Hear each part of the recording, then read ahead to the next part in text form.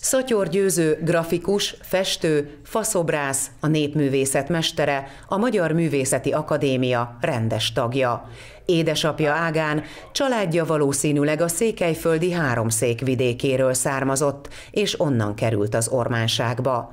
A Bogdásán töltött gyermekévek meghatározták későbbi alkotói munkásságának irányát és a világról alkotott képét. Én arra emlékszem már, hogy gyerekkoromban is vonzott a a természet vonzott a tárgyi világ, ami egy falusi gyereket körbeveszi, és hát engem úgy látszik a Jóisten tehetségesnek teremtett, mert már kisgyerekkoromban is jól rajzoltam. A tanító is mondta, hogy hé gyerek, ha én így tudnék rajzolni. Tehát er, ezt soha nem felejtem el, és valóban, valóban lerajzoltam a tehenet, lovat, a traktor, tehát amit a faluban lehet látni, virágokat, fákat, tájat, kiültem, sokszor a határba festettem, jött arra a csősz és nézte, hát te ilyet is tudsz csinálni, de csuda bugár vagy te.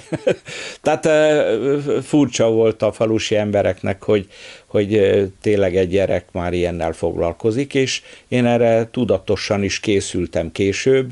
Már negyedik osztályos koromban tudtam, hogy én tanító tanár szeretnék lenni, és volt egy nagyon jó rajztanárom, aki biztatott, mert látta, hogy valóban tehetséges vagyok. Aztán, amikor a tanárképző főiskolára felvettek, hát ott meg teljesen kinyílt a világ, mert hát szakmailag is, tehát pedagógiailag is, és művészetileg is én nagyon sokat tanultam. Kiállításaim voltak már akkor, végeztem újságíró stúdiót, mert írni, fogalmazni mindig szerettem, és a újságban megjelentek írásaim, rajzaim, nagyon sok rajzom megjelent, amit annak idején hát rajzoltam. Hát talán így kezdődött, és egyre jobban kiteljesedett bennem ez a világ, én a néprajzból, népművészetből rengeteget tanultam, és úgy is mondhatnám, egy alkotói életet építettem fel erre. Tüskés Tibor íróbarátja révén bekerülhetett a Bizse János vezette Pécsi grafikai műhelybe. Olyan mesterektől tanulhatott, mint Martin Ferenc, Soltra Elemér, Kele Sándor, Simon Béla és Barakonyi Klára, de sokat olvasott verseket, prózákat. Több könyve is megjelent, legutóbb a Mi kezeink által Szakralitás a népi kézművességben címmel.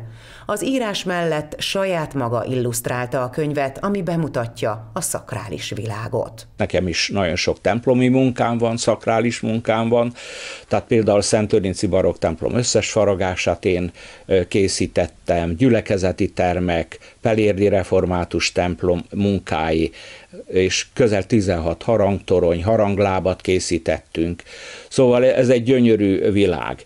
És a, ez a könyv megjelent, hála Istennek nagyon szép, mindenkinek tetszett, nagyon sok ember így megismerheti ezt a fajta világot, és már a kilencedik könyvem is nyomdai előkészítés alatt van. Az egy érdekes dolog lesz, mert ami bennem van így, és úgy leüllepedett tehát őszintén kitárom a lelkemet és leírom a dolgokat, az lesz a címe, hogy elveszett, elvesztett szavak, írás, tehát rajzok, írások, versek és imák.